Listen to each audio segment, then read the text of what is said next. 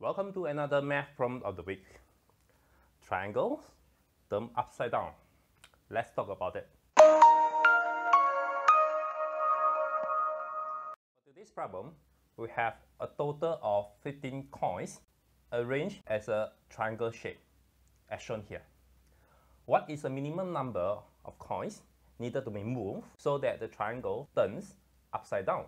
The options are A, 4, B, 5, C6, and D7. What do you think?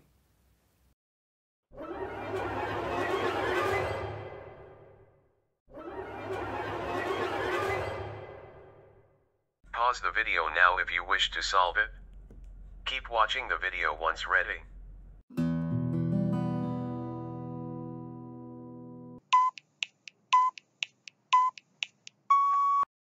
Before we solve this problem, let's look at a simple case. Now, let's say we have only one, one coins. Then in that case, we don't have to move anything.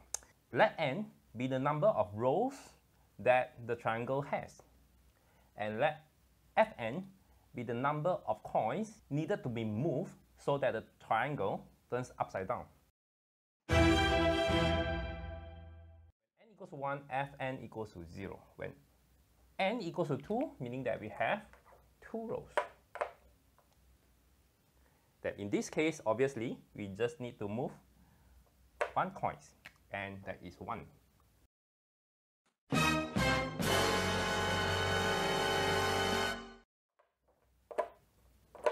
And when n equals to 3, we may need to move 1, 2, uh, 3. But we can save a little bit by moving these two coins. And we'll have the triangle upside down. See? From here to here. So the answer is 2.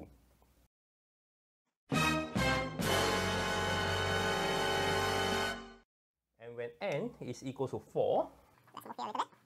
n equals to 4. Okay, for one from here. if this row is fixed, then we have to move everything from here. We need to move six of them.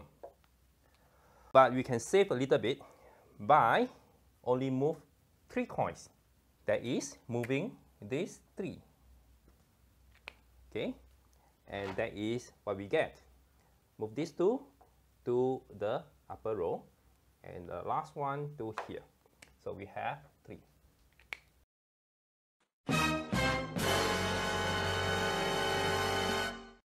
for this question, it is 5 row.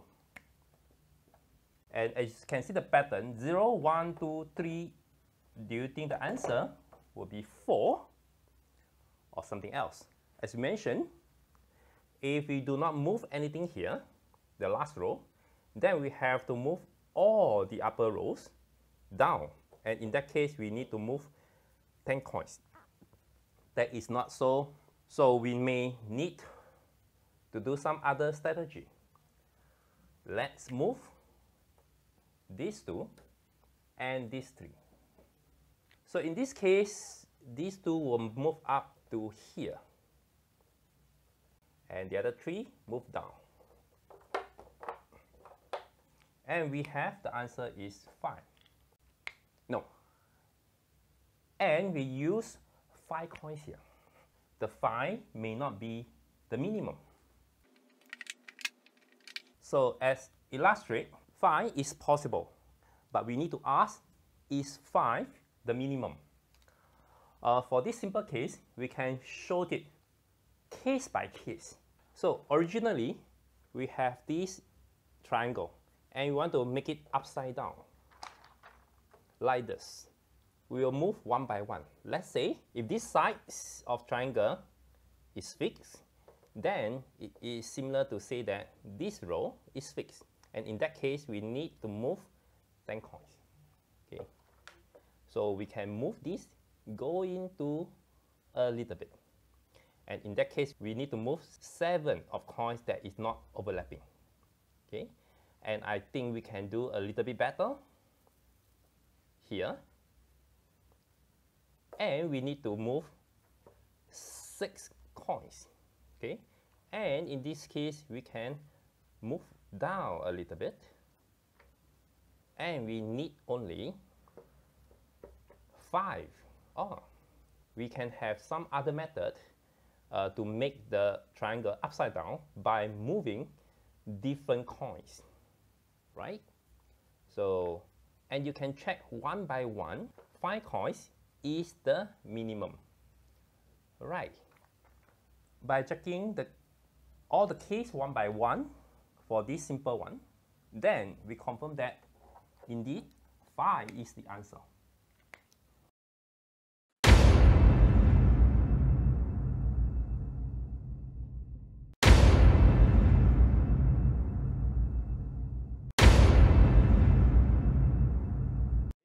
I will make some extension to this problem. And for now, let's look at other people's solution.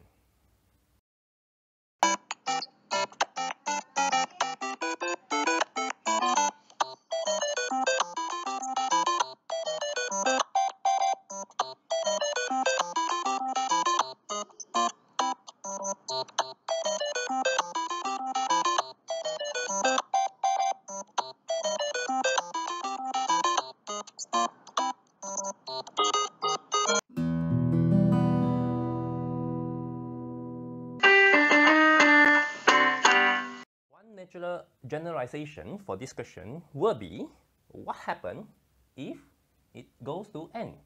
So we can move on. What happened to 6? What happened to 7? And what happened to n in general? Are we able to find out a general formula for n rows?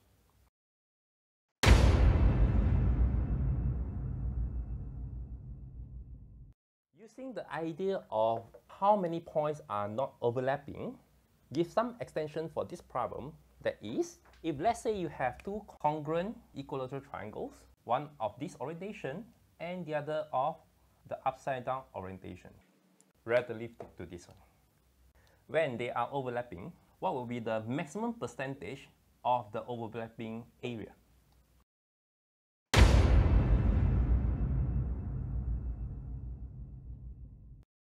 If this is known, then it perhaps it will give us some idea what happened to the Fn. It will be great if you leave your comment below. That's all for today, and I'll see you next time. Bye-bye.